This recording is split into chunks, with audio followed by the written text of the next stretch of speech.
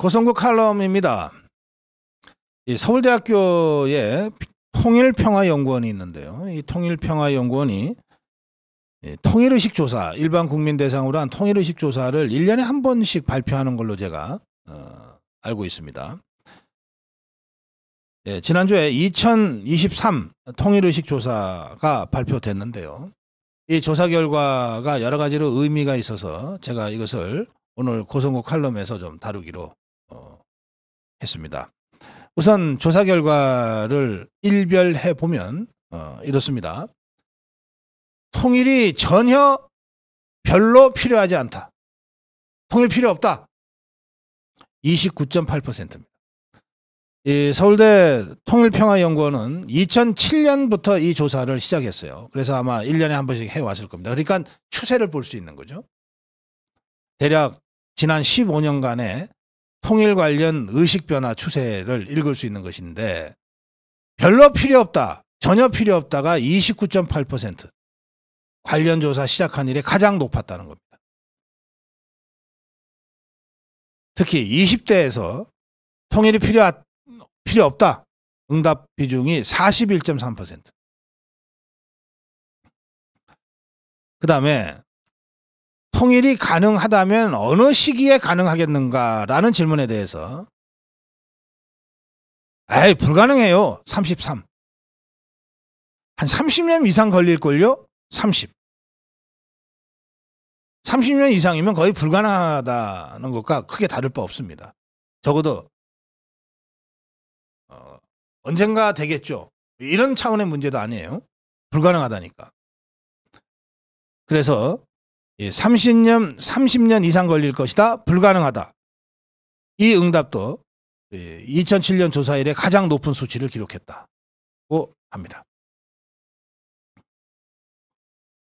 또 북한 이탈 주민, 탈북민이라는 거 우리가 부르는 부타, 북한 이탈 주민, 북한 이탈 주민을 같은 민족으로 가깝게 느낀다, 친근하게 느낀다는 응답이 19%밖에 안 나왔어요. 역대 최저치를 기록했습니다.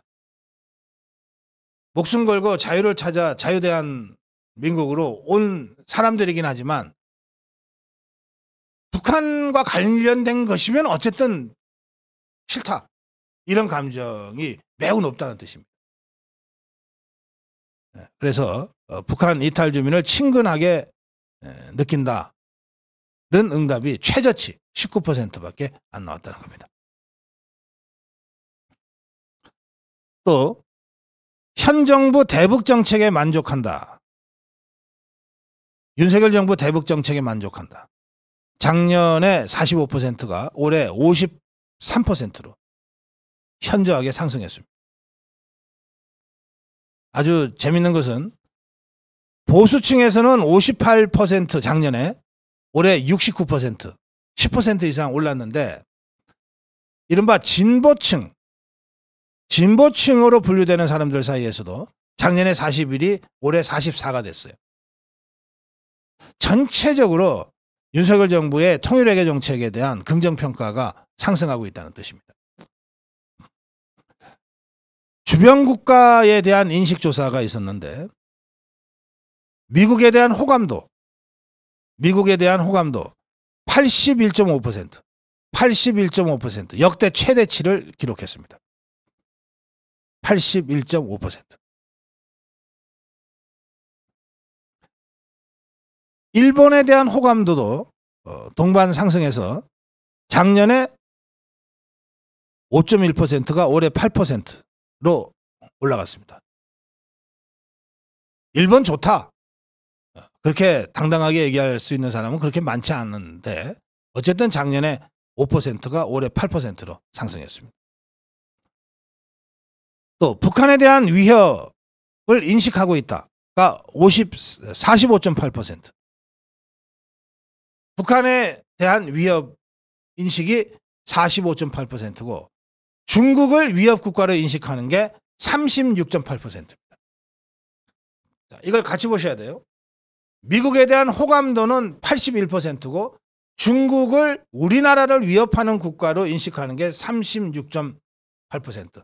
북한이 우리나라를 위협한다고 인식하는 게 45.8%. 그 다음에 한국이 어떤 방식으로 핵무장을 하는 것이 좋겠는가? 라는 질문에 자체 핵무기를 개발해야 한다가 49.3%입니다. 거의 절반 가까이가 자체 핵 개발입니다. 그 다음에 미국의 전술 핵무기를 한반도에 재배치해야 한다. 가 23.6%입니다. 핵무기 보유를 반대한다는 17.8%에 불과합니다. 자체 핵 개발을 하든 미국의 전술 핵무기를 다시 갖다 놓든 우리도 북한에게 대응해서 핵을 보유해야 한다는 인식이 70%가 넘습니다. 예, 이번 이 서울대 통일평화연구원의 예, 여론조사는 한국갤럽에서 실시했고 신뢰 수준 표본오차 플러스 마이너스 2.8이니까 상당히 정확한 조사입니다. 이 조사를 보면서 어, 제가 느낀 점을 말씀드리겠습니다. 통일 지상주의가 이제 완전히 꺾였다. 제가 이 조사를 보면서 가장 먼저 느낀 것은 종북 주사파들이 수십 년간 다양한 형태로 전파해 왔던 통일 지상주의가 완전히 꺾였다. 이거 매우 중대한 사건이다. 이렇게 저는 해석합니다. 통일 지상주의. 모든 통일은 선이다. 이런 주장을 종북 주사파의 지식인, 문화인들이 대놓고 해왔습니다. 모든 통일은 선이다. 이제 적어도 우리 대한민국 국민 절대 다수는 그런 따위의 통일 지상주의에 속아 넘어가지 않게 됐다는 겁니다. 모든 통일은 선이라니. 이야말로 정말 궤변이죠. 이 모든 통일은 선이다라고 하는 이 말은 언뜻 들으면 그야말로 지당한 말처럼 들려요. 그런데 이 모든 통일은 선이라고 하는 종북주사파들의 주장에는 무엇이 깔려 있냐? 두 가지가 깔려 있어요.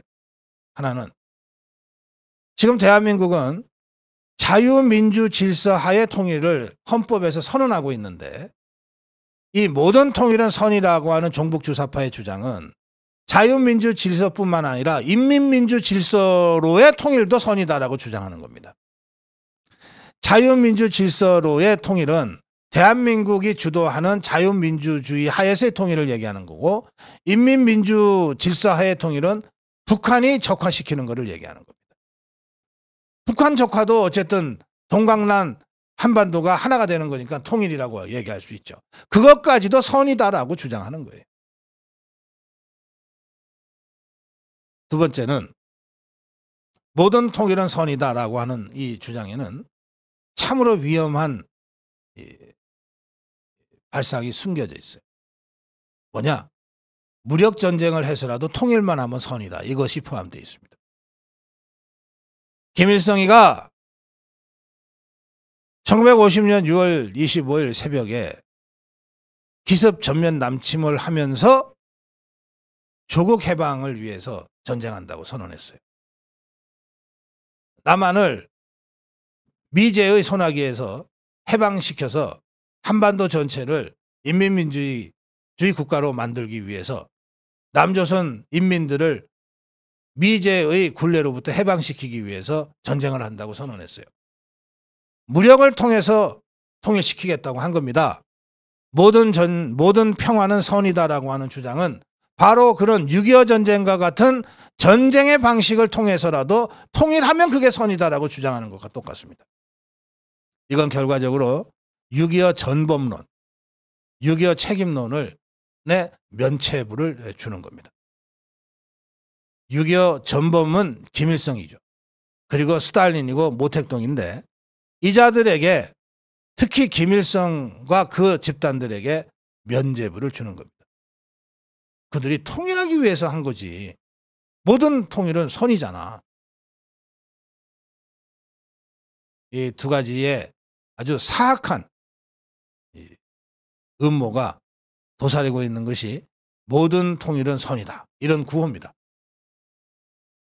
그런데 이게 그동안 먹혀왔단 말이에요. 먹혀왔는데 이번 이 서울대 평화통일연구원의 이 여론조사를 통해서 이제 절대 다수 국민들은 그런 종북 주사파의 궤변에 선전에 넘어가지 않는다 는 인식을 갖고 있다는 것이 확인이 된 겁니다. 이것이 매우 중요하다. 그러면 통일 문제를 그럼 우리가 아예 포기할 것이냐? 그건 아니죠. 통일은 대한민국이 헌법으로 선언한 예, 과제 중의 하나입니다. 단 통일의 원칙이 있는 거예요. 대한민국 헌법은 자유민주적 질서하에 통일을 선언했어요.